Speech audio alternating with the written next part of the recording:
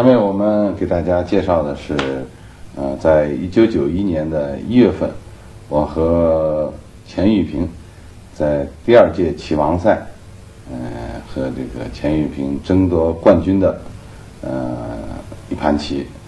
嗯，第二届棋王赛是，呃，我经过这个在挑战者的比赛中呢，呃，经过了很多这个。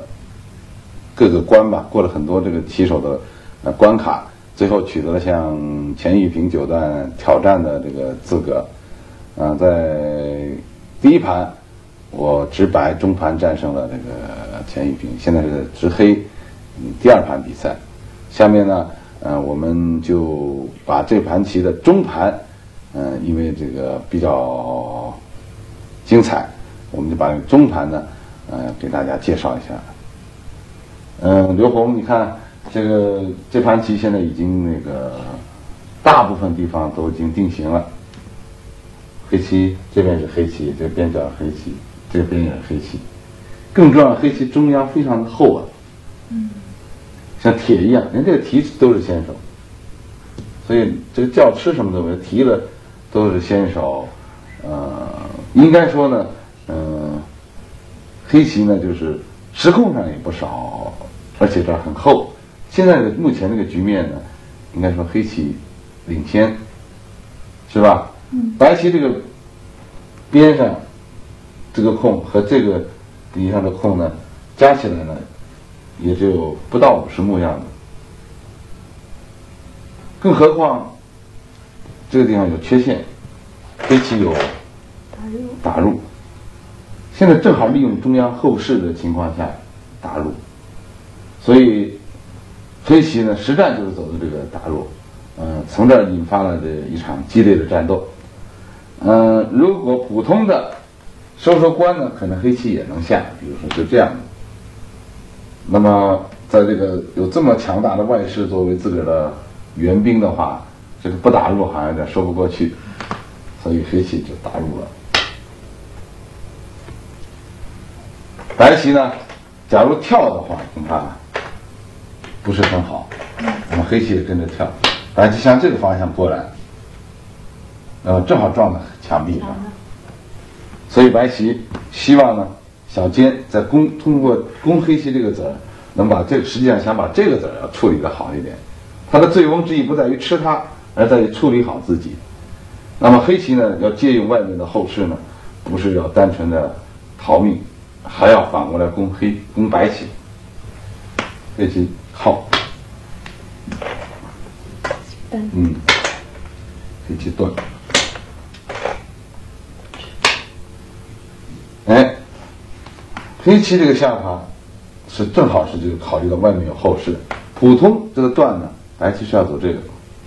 嗯，用十字长一头。哎，对吧？用十字长一头，这还是我小的时候老师教我的这个口诀啊。看来你也是老师也这样教。嗯。那么黑棋退，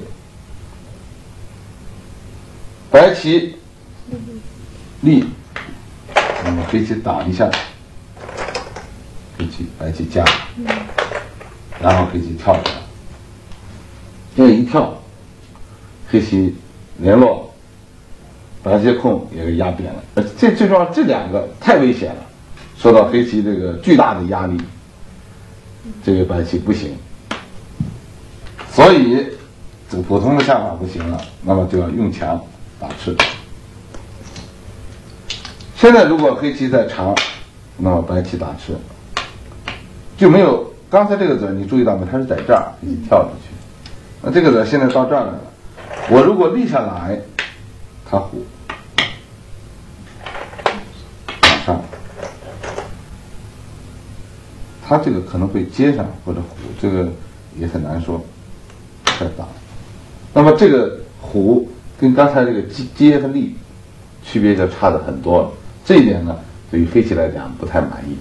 所以黑棋呢，就转而就好像这个调调用尾炮，刚开始用的前炮，现在用尾炮打这个，把这提掉。呃，一般的情况下，这个黑棋这样下法是不成立的。先被提一个，嗯，现在最主要是这边的棋形非常厚，没关系，现在交吃。哎，飞机提劫。看一个，如果普通的打劫打不过的话，要就打劫的话，我想他是打不过的，因为黑棋这个提是先手，这个教师是先手。嗯，人家这个聪也先手，人家好几个先，有好几个现成的劫材，打不过，所以白棋拼命。对，现在黑棋从这一吃一冲就出来了，但是那样的话，白棋把这个提了，太大了，哎，太大了。这个由于这边一点毛病没有，在这个也容易得到处理。这个黑棋损失比较大。嗯、我想这个，嗯，经过计算，水平比较高的爱好者，经过计算之后，都是要把这个接起来。我也实战中接住，冲，呃，接上，黑棋冲，对，白棋挡住，黑棋提，白棋再挡住。那么现在呢，就嗯出现了这样的变化，黑棋这个呢被白棋关起来了。如果处理的不好，白棋就有翻盘的可能。假如死了的话，那就损失重大了，那不能死。打吃，接上，这个是好手。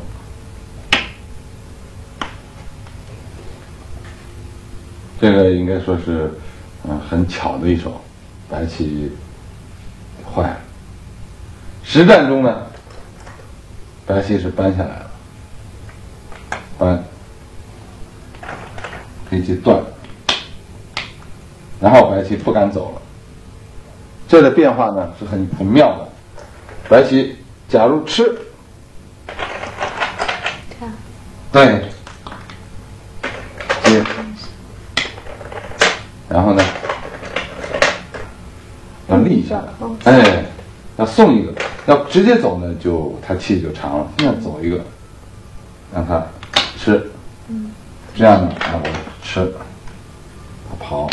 夹住，白棋把这个提掉，铺一个，黑棋扑一个，白棋爬一个手气，嗯，是吧？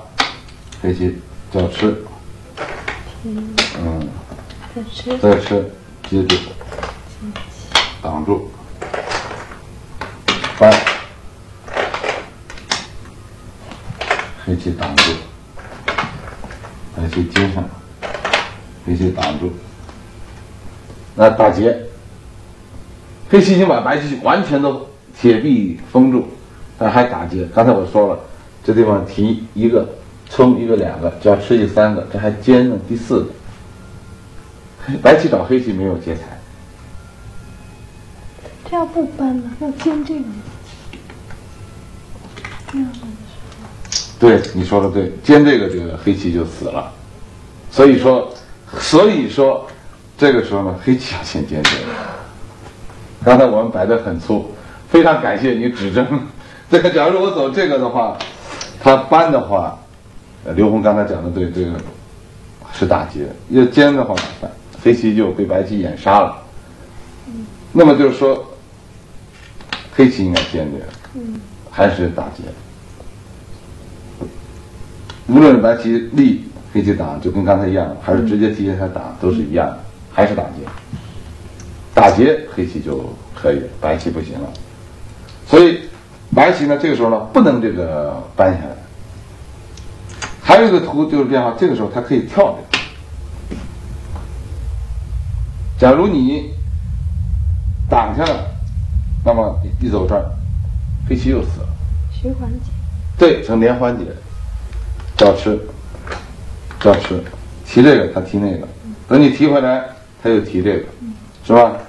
现在黑棋提这个，白棋提这个，黑棋再提那个时候，白棋再提这个，黑棋总是，白棋不用找劫财，无缘无尽的劫财，黑棋呢被吃掉了，所以呢，黑棋白棋跳这个时候，黑棋要先冲这个，嗯，白棋接住，黑棋挡下来。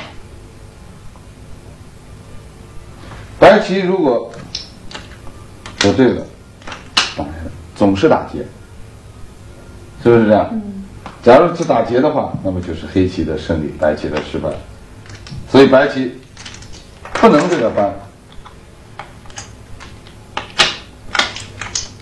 在一断的时候呢，白棋就叫吃了。这样呢，黑棋就叫吃，白棋接着，黑棋接。白棋黑棋就大获成功吧，因为什么呢？这儿全都变成黑地了，黑棋空在全盘已经领先了。另外呢，黑棋还可以把这个跑出来，嗯，争子白棋不利。好，说这四个就断在外头了。在外头的话，你看周围黑棋那么厚，这四个基本上就死了。那么实战呢，白棋就走这个。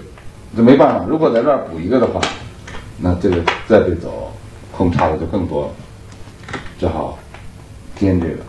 那么黑棋这个就跑，跑了这个之后，下一步这个棋几乎是先手。为什么这样说呢？这个刺，它接住，打起来很厉害。因为白棋的气紧呢，这个和这边眼位还不安全呢，这个还是先手。那么棋局到这儿的时候呢，我们可以给大家稍微判断一下形势。这块白棋呢，大概是二四六八十十六十八二十二十多一点点，这十、二十、三十，啊五十多一点，呃，不到六十目。黑棋呢，把这个全吃光了已经，这个已经吃了，这个十、二、三，这块有三十目、四十目、五十目、六十目、七十目的样子，这个十目棋是已经算的很少了。这样黑棋大概盘面有十几目，而且非常的厚。嗯，嗯，到中央有很多潜力啊，白棋实际上到现在为止呢，嗯。应该讲是已经肯定的不行了，那么又顽强的进行了收官，走了一些，最后呢还是中盘认输，因为双方的时空差距比较大。这盘棋之所以黑棋能比较明快的赢下来，跟这个地方呢打入之后计算的比较清楚，呃，这一个在这儿的攻杀呢，呃，白棋没有黑棋计算的清楚，所以白棋这种。在已经形势不利的情况下，又吃大亏了，所以就这盘棋就嗯无可挽回了。后来在这个棋王赛中呢，嗯，我就以这个三比一战胜了这个钱玉平，嗯，就取得了第二届棋王赛的冠军。嗯，好，观众同志们，这盘棋就给大家介绍到这。